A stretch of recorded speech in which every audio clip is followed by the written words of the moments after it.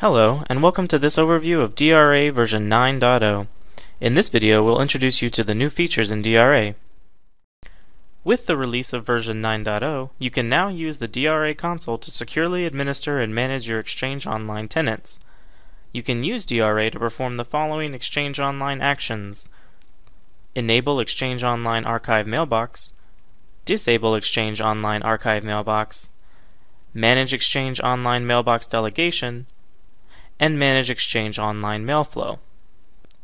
Also made available with DRA 9.0 is support for using REST API and Microsoft PowerShell to perform a multitude of DRA operations. For example scripts and PowerShell examples, check out the DRA documentation page. Last but certainly not least, with DRA 9.0 we've added support for managing archived mailboxes. We are very excited to launch DRA 9.0. With multiple new features and improved usability of existing features, we're sure you'll be excited about it too.